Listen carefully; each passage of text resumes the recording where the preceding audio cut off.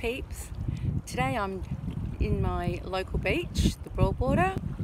I haven't ventured much further because of winter, but I promise you I'll have some great beach videos soon.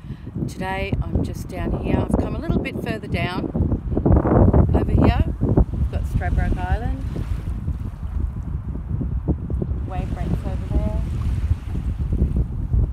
I picked up some lovely shells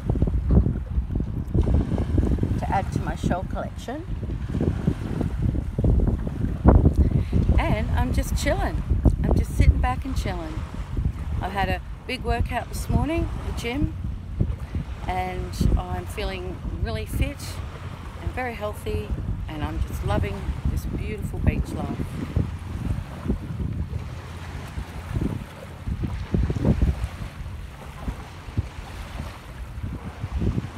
So wherever you are, have an awesome day and I'll see you soon again on Daisy's Beach Adventures. Ciao for now.